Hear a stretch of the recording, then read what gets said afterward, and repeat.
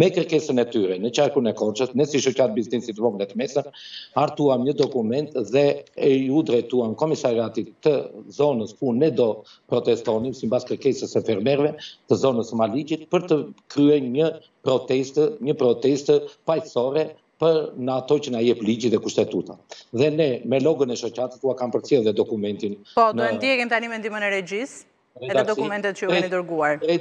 Tre ditë përpara, iu drejtuam komisariatit përkatës, komisariatit Maliqit, dhe i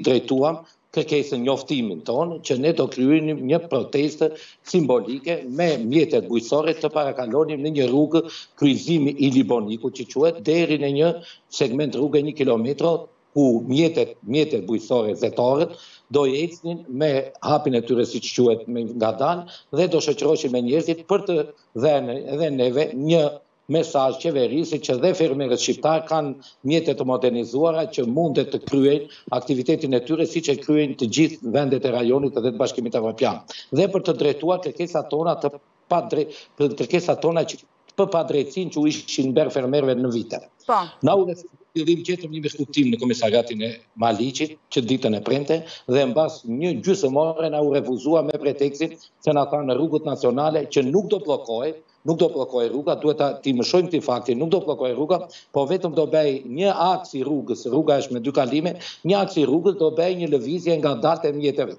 bujqësore.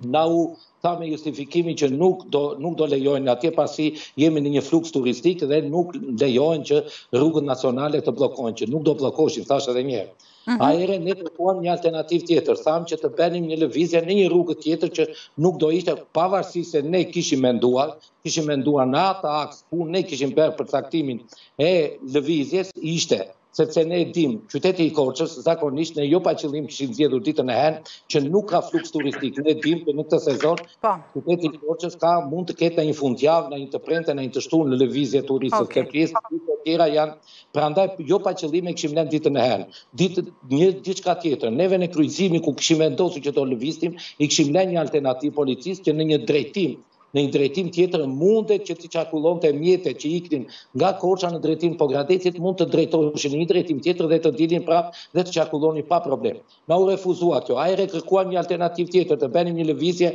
nga nga kryqëzimi aty drejt qytetit të Maliqit dhe kjo në fillim na u pranua, prapë na u refuzua dhe në fund fare ditën e hënë kur neve fermerët ishin përgatitur me gjitha mjetet e tyre dhe ishin përgatitur që ne do dilnim, ne ahere dolëm në një alternativë, në një rrugë dytësore që lidh një fshat, fshatin e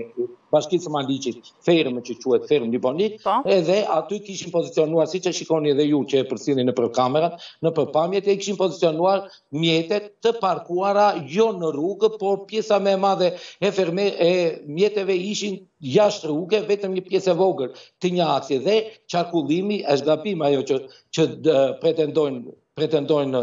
institucionet e policisë që ishte bllokuar rruga, një aks i rrugës qe i i kalueshëm, i qarkullueshëm, dhe pjesa e njerëzve ishin pozicionuar dhe ne si drejtues, të kësaj proteste u kujdesëm që të mos kishte përplasje neve thjesht kishim pozicionuar mjetet atje dhe deshëm që të shprehnim në bazë të kërkesave tona nëpërmjet mediave të përcillnim atë që ne kërkonim dhe çfarë kërkonim ishin disa gjëra që ne i kemi përmendur dhe më, më parë po kish vajtur kulmi që neve duhet ta bënim këtë protestë ne kishim kërkuar Pikë së pari që qeveria duhet të ndërhynte me produkte që vijnë nga jashtë, nga importi, sepse po bëhet një konkurrencë e pandershme midis fermerëve të rajonit apo të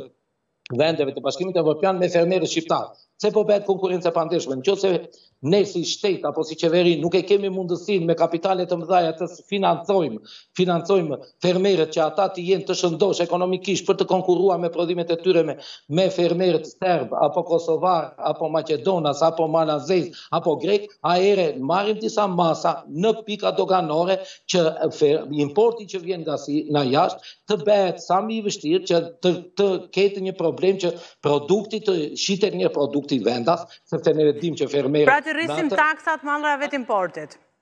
Po duhet të rriten disa akciza që janë, duhet të bëhen disa kontrolle më të rrepta sepse ne kemi informacionet tona, ne si drejtues shoqate, po dhe fermerët kanë që mallrat kalojnë me lehtësi nga më të madhe pa do, pa akcizë, pa doganë dhe me thjeshtësinë më të madhe. Dhe çfarë ndodh në të vërtetë se këtu do më falni një minutë në qoftë se zgjatem se duhet të shpjegoj diçka shumë të rëndësishme. Okay. Në qoftë Mallrat, në qoftë se mallrat nga importi hyjnë me çmime shumë më të lira dhe vijnë konkurrojnë mallrat tona që janë në vend, ndodhin dy, ndodhin dy fenomene. Në radhë të parë një herë, këto prodhime, këto prodhime hyjnë këtu në mënyrë të pakontrollueshme dhe nuk e dimë se ça prodhime hyjnë dhe konsumatori nuk e di se ça prodhim konsumon. E dyta, i bëhet një konkurrencë e pandershme, siç thamë fermerëve vendas, po dhe e treta, Kemi kapitalin që ikën, importi që vjen, prodhimi që vjen nga jashtë, hyn në Shqipëri, mbetet vetëm një dhjetë për qind që merr norma e fitimit që shesin tregtarët e vegjël dhe pjesa tjetër do vejë në origjinë, se do të kthehet prapë kapitali atje. Ka dhe humbje dhe shteti dhe qeveria, po dhe tjetrën. Kemi, kemi, kemi dhe një diçka, një problem shumë të madh. që konsumatori prap, po të shikoni çmimet, konsumatori prap çmimet e produkteve bujqësore dhe blegtorale apo dhe ushqimore po i merr me më lartë se vendet e rajonit.